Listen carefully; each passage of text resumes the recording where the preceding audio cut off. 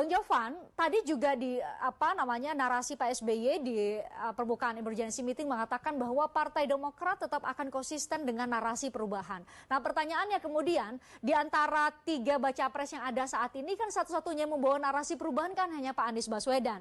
Pak Prabowo dan Pak Ganjar Pranowo jelas-jelas mengatakan akan melanjutkan ya dengan tagline melanjutkan apa yang telah dicapai oleh pemerintahan Presiden Jokowi Maruf uh, pada 10 hampir 10 tahun ini. Lantas ke mana akan berlabuh kira-kira? Ya, kami paham itu akan menjadi tanda tanya besar bagi publik, hmm. tapi sekali lagi biarlah itu nanti menjadi keputusan majelis tinggi hmm. partai. Tapi mungkin sebagai gambaran, Pak SBY juga tadi menyampaikan bahwa kami akan tetap pada tema perubahan dan hmm. perbaikan.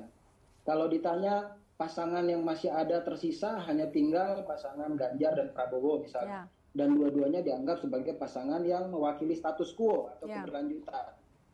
Ya jangan lupa Pak SBY juga tadi mengatakan perubahan dan perbaikan yang kami usung ini tidak serta-merta berubah segala-galanya, tapi apa yang sudah dilakukan oleh pemimpin-pemimpin Indonesia sebelumnya dari zaman mulai Pak Soekarno, Soeharto. Kemudian Pak Habibie, Megawati, Gus Dur, Pak SBY, dan bahkan Pak Jokowi sekalipun, legasi-legasi yang baik tentu akan kita pertahankan, ya. kita lanjutkan. Namun jangan lupa positioning kami selama 8-9 tahun terakhir ini sebagai oposisi, sebagai pihak checks and balances, hmm. tentunya kami lebih tahu apa yang bisa dievaluasi untuk hmm. kepemimpinan ke depan. Di situlah perubahan yang akan kami ya. terjemahkan dalam program-program ke depan. Baik.